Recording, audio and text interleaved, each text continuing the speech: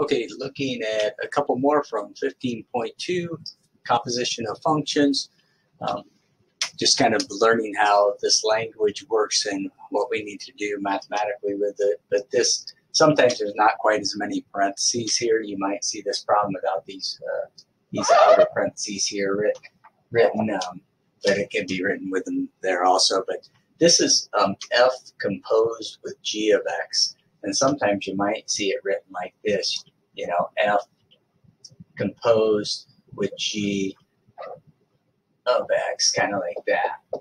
So that's another way to write that. Um, it's not red fog, it's f composed with g of x. So we're going to take the g of x function and put it inside the f of x function. So we're going to take this function and put it inside this function.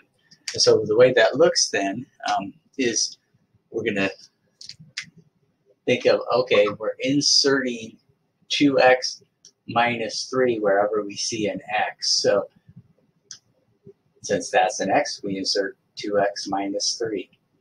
And so f composed with g of x is the square root of 2x minus 3. And that's it. There's nothing else we can do with it. Okay? It just sits like that. All right.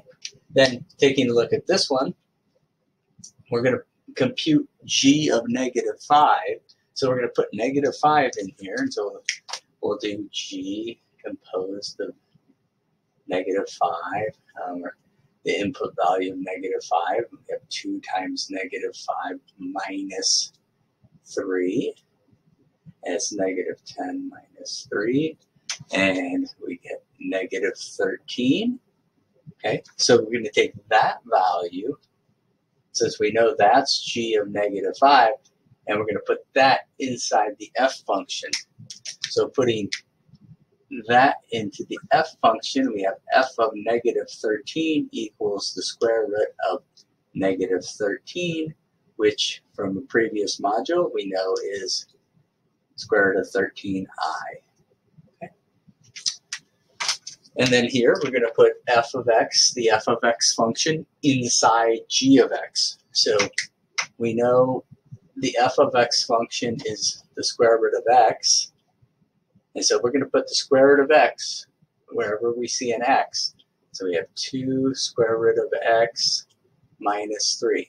And that's that's the answer there, 2 square root of x minus 3. So remember, this could have been written out also. You might have seen this written out this way. Uh, you could have seen G composed with F of X using that uh, small composed symbol.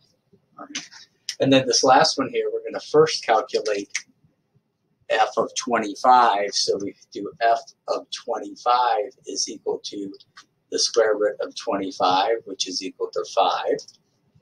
And then that's our value that we're going to put inside of the g function. Well, the g function, the g function is 2 times whatever the input value is, minus 3, and we get 10 minus 3 equals 7. Okay.